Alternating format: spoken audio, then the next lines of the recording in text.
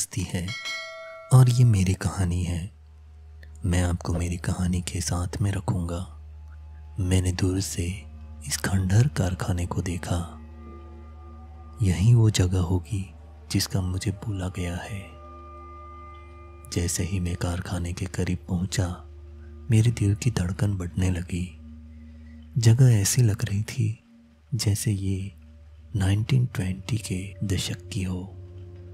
बाहर सब जंग लगा हुआ था और मैंने धीरे से दरवाज़ा खोला।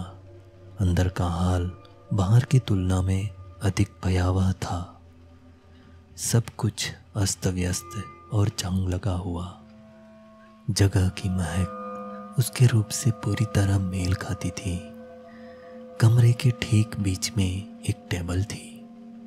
टेबल पर एक डेस्कटॉप कंप्यूटर था। मैं कंप्यूटर पर बैठ गया। मैंने उसी वेबसाइट के यूआरएल को टाइप किया, जो पहले के दो चुनौतियों में था। The horror book dot horror और एंटर दबाया। वेबसाइट लोड हो गई और सिंपल सा आइकन लोड हो गया। उस आइकन पर चुनौती नंबर पाँच लिखा हुआ था। मेरी प्रत्येक चुनौती में चिन्ह को एक से पाँच तक क्रमांकित किया गया था। ये खजाने की खोज की पांचवी और आखिरी चुनौती थी। मुझे बस इस चुनौती को पार करना था। मैंने अपने आप से कहा कि ये मेरे द्वारा किए गए सभी प्रयासों के लायक होगा। मैंने चुनौती नंबर पाँच पर क्लिक किया। नए ब्लैक बॉक्स ने पूरी स्क्रीन को भर दिया। तीन गणित की समस्याओं ने स्क्रीन को पूरा कवर किया था। पाँच प्लस पाँच, तीन गुना पाँच, बीस को चार से विभाजित करना। मुझे तो एक मज़ाक लग रहा था। मैंने सोचा कि पिछली चार चुनौतियों में जटिल कोड ब्रेकिंग शामिल थे और अब अंतिम चुनौती सिर्फ़ सिंपल अंक गणित है। मैंने आगे आंसर टाइप किया, पाँच प्लस पाँच, दस, तीन गुना पाँच, पंद्रह। बीस डिवाइड चार पाँच। मैंने सुनिश्चित किया कि मैंने उत्तर सही टाइप किए हैं कि नहीं। फिर एंटर दबाया। काफ़ी समय बीत गया और कुछ नहीं हुआ। मैंने सोचा, शायद कंप्यूटर जाम हो चुका है और फिर स्क्रीन पर अचानक एक टेक्स्ट बॉक्स डिस्प्ले होता है। कॉन्ग्रेचुलेशंस और एक नई स्क्रीन लोड हुई। स्क्रीन का लेआउट किसी ऑनलाइन चैट रूम के समान था। यूज़र्स की लिस्ट के अंतर्गत मेरे अपने सही तीन नाम थे। अन्य दो को पहचानते ही मेरी आँखें चमक उठी। वे मेरे साइबर सुरक्षा सहकर्मी आशुतोष पांडे और विनोद राठौर थे।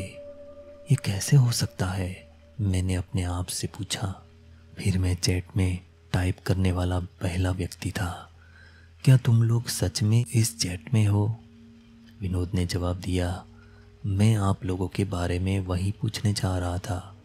आशुतोष ने पूछा, मैं वास्तव में कैसे विश्वास कर सकता हूँ कि ये आप दोनों हो? मैंने पूछा, ऐसा क्या है जो हम तीनों ही जानते हैं? आशुतोष ने तुरंत आंसर दिया कि हमने उस साइबर सुरक्षा परियोजना पर हॉरर स्टोरीज प्रोजेक्ट के लिए एक साथ काम किया था। हम सभी के पास सीक्रेट कोड नेम थे, क्योंकि हमने जो काम किया वह टॉप सीक्रेट था। विनोद ने वापस टाइप किया। हाँ हॉरर स्टोरीज बहुत ही अच्छी यादें थी। ये एक अच्छा तरीका है। आशुतोष, आइए चैट में अपना कोड नेम टाइप करें। इसे नकली करने का कोई तरीका नहीं है। मैं अपना A V four five zero type करने वाला पहला व्यक्ति था। उसके बाद Vinod V N five six eight seven अंत में आशुतोष ने अपना code name A S six nine eight two type किया। वाह, मैंने अपने आप से कहा कि ये वास्तव में वे थे। मैंने चैट में टाइप करना जारी रखा। तो दोस्तों, आपको इस गेम के बारे में कैसे पता चला? आशुतोष ने आंसर दिया। मुझे एक व्यक्ति से एक कोडित ईमेल प्राप्त हुआ था, जिसमें नाम की जगह पर आपका शुभ चिंतक लिखा था। विनोद ने वही जवाब दिया कि मेरे साथ भी ऐसा हुआ था। मैंने भी टाइप किया कि कैसे मेरा परिचय भी इस गेम से हुआ। आशुतोष ने पूछा, इसलिए मुझे लगता है कि पुरस्कार हम तीनों द्वारा विभाजित किया जाएगा? दो अन्य लोगों के साथ पुरस्कार राशि शेयर करने के लिए इस कड़ी मेहनत के इस बिंदु पर मैं थोड़ा नाराज़ था। मैंने पूछा, क्या आपकी पांचवी चुनौती भी आसान थी? विनोद और आशुतोष दोनों ने हाँ में जवाब दिया। चेट कुछ सेकंड के लिए रुक गई थी और फिर आशुतोष ने टाइप करना जारी रखा।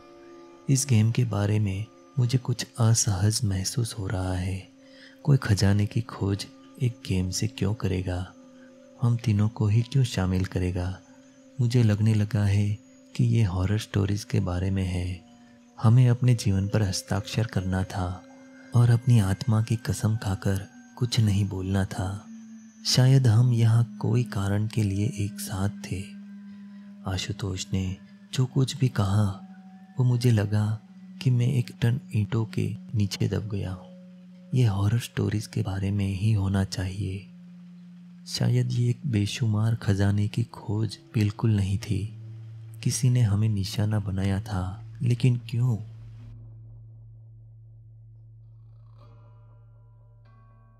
अगर आपको हमारी ये वीडियो पसंद आई है तो लाइक करें और हमारे चैनल को सब्सक्राइब करना न भूलें।